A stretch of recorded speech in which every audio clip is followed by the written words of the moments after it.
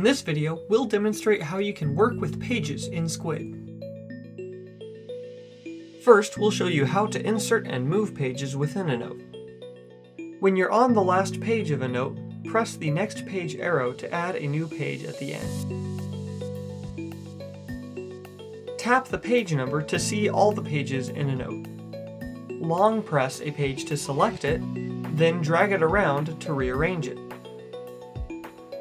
You can also delete selected pages.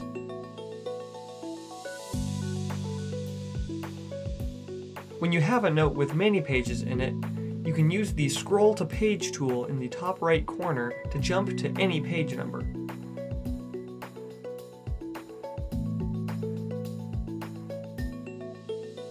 You can long press the page number for more options, such as Select All, Clear Page, Insert Page, Insert PDF, and Delete.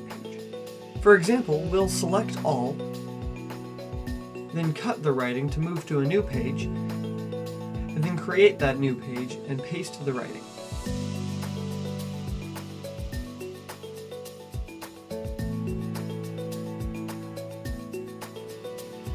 Don't forget to check the new page's position and move it around if it's out of place.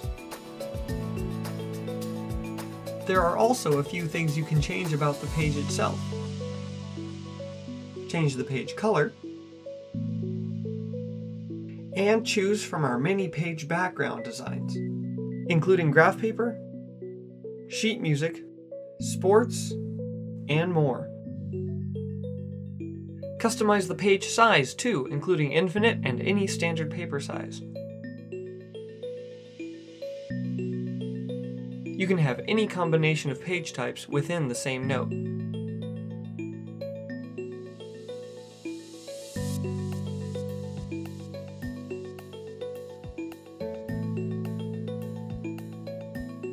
You can also choose page backgrounds when creating a new note.